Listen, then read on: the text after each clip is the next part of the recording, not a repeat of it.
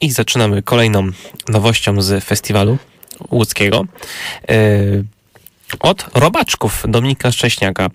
E, żeby było ciekawie, e, w zeszłym tygodniu omawialiśmy inny komiks, który był współtworzony przez tego scenarzystę, a mianowicie profesora Andrewsa. Dominika też możecie oczywiście kojarzyć z o, całego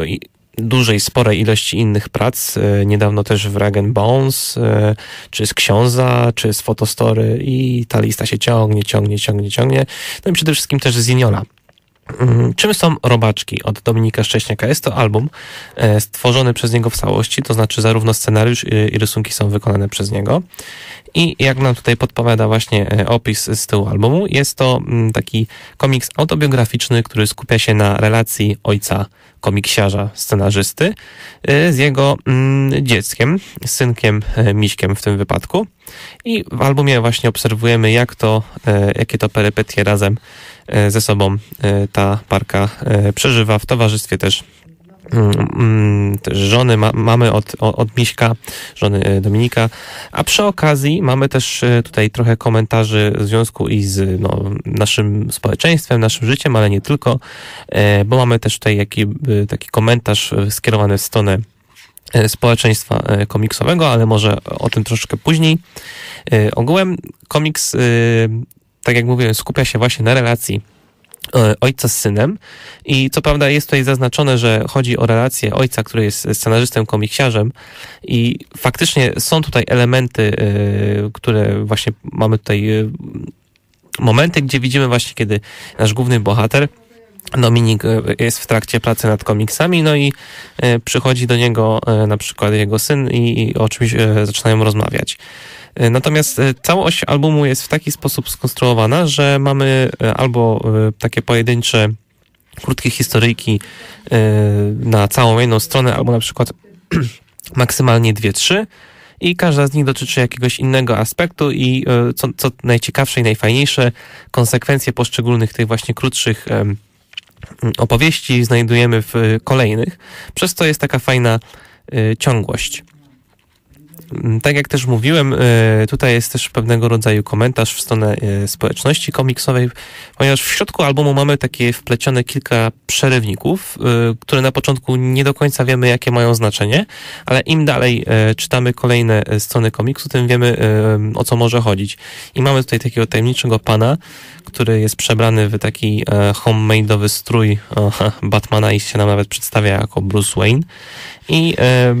co jakiś czas, co, co kilka e, komiksów, to właściwie e, po każdym chyba nawet rozdziale, mamy pokazany jego komentarz e, w stronę jakiegoś aspektu e, związanego z e, komiksami, e, komiksowym społeczeństwem, pisaniem komiksów, tworzeniem komiksów. Dominik Szcześniak tutaj właśnie skupia się przede wszystkim na relacjach ze swoim synem i e, pod tym względem albumowi nie mam nic do zarzucenia, ponieważ e, sposób w jaki spisał relacje ze swoim synem są e, bardzo sympatyczne, bardzo, no nie da się ukryć, życiowe. I miło popatrzeć jak tutaj nasi bohaterowie mm, przeżywają mm, różnego rodzaju sytuacje związane chociażby E,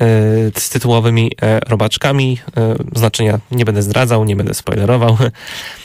a także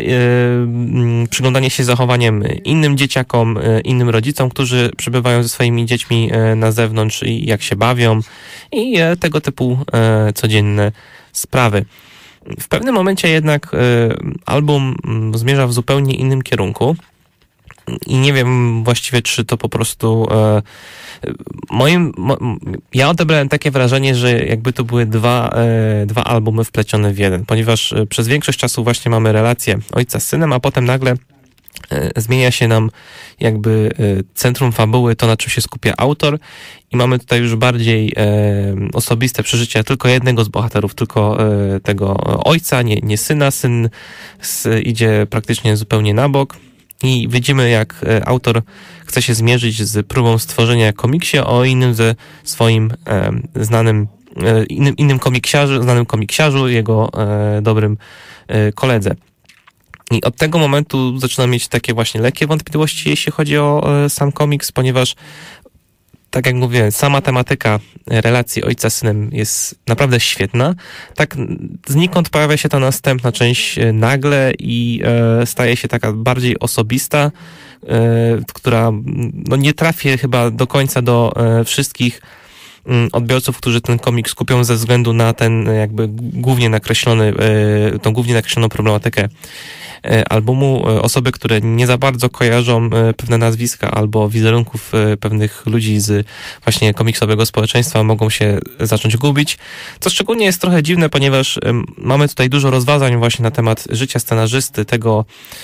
jak się ich też nie docenia, albo też ogółem, że jak bardzo mało komiksów w Polsce się kupuje. I no, jeśli twórca chce dotrzeć do e, nowych klientów, do nowych czytelników, może tak to określmy, do nowych czytelników i chce ich gromadzić coraz więcej,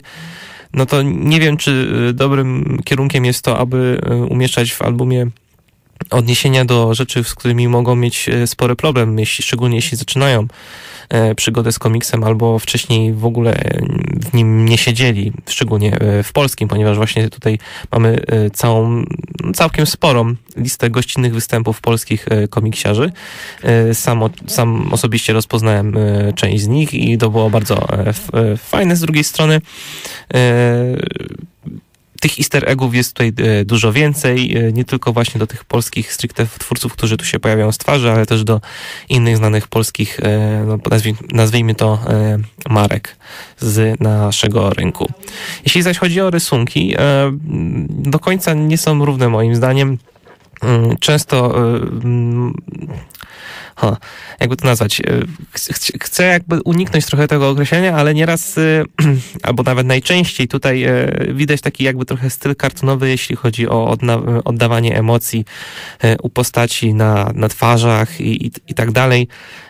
I właśnie głównie mam problem chyba z tymi twarzami głowami, które nieraz nabierają troszkę dziwnych kształtów w niektórych kadrach i no raczej nie wynika chyba to ze stylistyki Dominika, tylko raczej może z tego, że niektóre może z tych um, stron pojedynczych, y, tych krótkich historii były tworzone raczej na troszkę szybszym tempie, aby nadrobić e, termin y, premiery ale jest wiele fajnych, wiele fajnie oddanych scenek tutaj za pomocą rysunków, właśnie emocji, za pomocą emocji na twarzy, które jeszcze bardziej potęgują humorystyczne elementy całego albumu. Zatem mm, mam lekki problem z polecaniem tego albumu, ponieważ z jednej strony faktycznie mm, ten element, ta więź między ojcem a synem, gdzie ojciec jest tym komiksiarzem i e, przeżywa różnego rodzaju sytuacje ze swoim potomkiem są bardzo sympatyczne i można się nieraz uśmiechnąć i też tak naprawdę zastanowić nad tym, co chce nam tutaj przekazać e, Dominik e, w tym albumie, no ale w pewnym momencie troszkę idzie w innym kierunku i dla album prawie całkowicie się zmienia e, w coś zupełnie innego i nie wiem do końca, czy tak miało wyjść w odbiorze, Szczególnie, że momentami staje się taki trochę pretensjonalny, kiedy e, Dominik za pomocą swojego jakby alter ego przekazuje swoje opinie na temat pewnych kwestii komiksowych i co zupełnie nie pasuje do całego tego nastroju tworzonego mm, z z Dominikiem i Miśkiem na pierwszym planie na samym początku. Y, chociażby dla tej części, gdzie widzimy ojca i syna, na pewno warto sprawdzić.